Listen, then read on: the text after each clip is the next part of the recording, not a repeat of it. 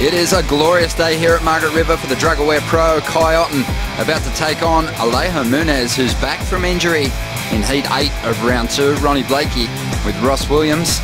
And as a result, missed the first couple of events of the season. But we're seeing Kai Otton take a, an early ride here.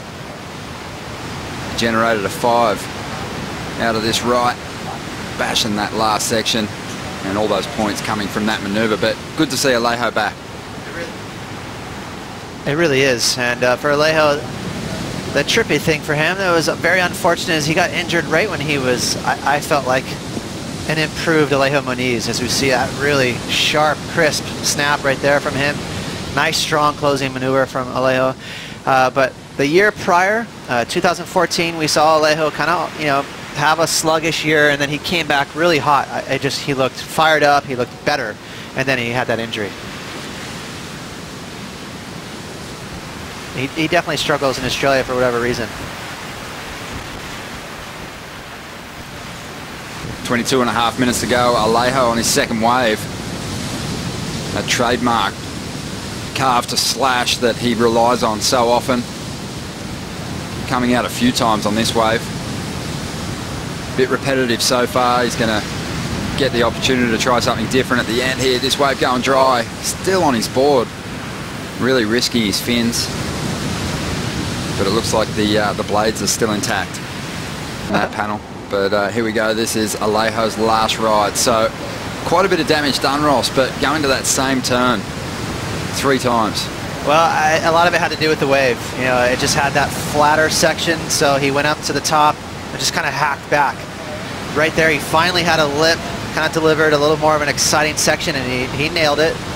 And he definitely had it, that extra effort of riding out over the rock but I didn't mind it. I thought it was decent surfing for how flat that wave was. Judges didn't mind it either. A 7.33. He moves ahead. Kai Otton after a 6.44. Yeah, uh, his the tour's just starting this year, and he's gonna have a great year too. So, yeah, stoked to make one more heat here.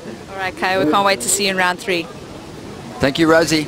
As we see Kai Otton just getting a little hung up there on his second effort to keep their place on the CT. Alex Ribeiro, for me, is going to be one of those guys. Just hasn't looked like winning a heat yet at the CT level.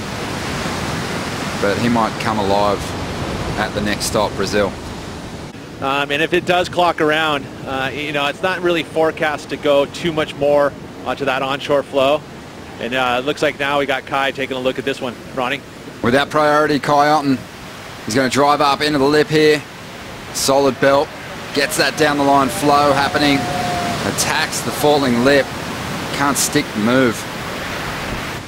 Has priority, but he's sitting a little further out. Kai Otton happy to scrap at the moment for a 6.44. Hurt himself on his last ride. Let's see if it affects his performance here as he drives up into the lip. And an awkward fall to finish that wave off as well. But he's okay going on? We've said that a couple of events ago. Sometimes falling's contagious. It definitely seems the case right now for Kai. But I really like this bottom turn. You can see he got his rail engaged better. So he's starting to knife through the water. Got a lot of speed through both of those maneuvers. So things were looking great. Just needed to finish the wave off. But that last section is so tough. It kind of just jumps up at you. Uh, and you really have to have quick reflexes. You wouldn't even look at the right. Uh, but because these pro surfers, they want to have a steep wall, they're going against the grain. Here's Kai, looking for some big impact maneuvers on a smaller ride to convert it into a good score. Needs a 6.44 to get himself out in front. Just happy to get a finish on this one after taking a, a couple of beatings on his last two rides. Not falling one. Finish a wave off uh, under priority, so this is okay. You know, be sneaky. Catch an insider. Second maneuver right there for Kai, decent. Connecting the dots and then finishes this one, this wave off on the rock. So just crawling back into it. Crawling back into it. Needs a 6.44, waiting for the numbers to come through at the moment. Just over six minutes to go, time ticking by. Alejo's been super patient. He's holding priority out there. The numbers dropping for Kai now. 5.57. Not enough. He's after a 5.87 now. to get himself in front. Pretty similar surfers, really, really flashy. So it's going to be a fantastic little heat. As we see, Alejo looking for his second best score here, trying to drop a 4.1 to push further ahead of Otts. Not a super exciting finish, but a bit of work done on the outside. Kai's going to give himself a, a, chance coming into the final stages of this one by getting priority back at the takeoff zone. So you can see, watch how much board sinks as he pushes on that deck. Really does knife through it, but he keeps his speed up. That's important. So it's not like he's bogging down, just trying to be Mr. Powerful. He's keeping that flow, but... Uh... And uh, some really good battles. Adriano up against Leonardo. And we know Adriano fell out of the, the Bells event at the hands of a replacement surfer in Mason Ho as Kai Otton tucks in on the inside. He's looking for a 6.67, not going to get it. Alejo being kind of selective, so Kai sticking to his guns, staying busy, trying to find a score. He'll be really happy with this result. Such a close heat, 20 seconds now. There is a couple of waves coming.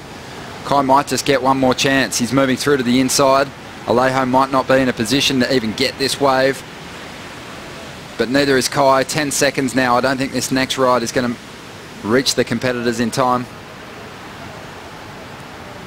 And it will be Alejo who takes off on it anyway if he gets the opportunity, but he doesn't. So he gets the jump on Kai here in Heat 8 of round 2. And it was a, a pretty scrappy affair. No major numbers locked in. Heat score total of 12.23, enough for Alejo as he makes his return from injury here at the Drug Aware Margaret River Pro.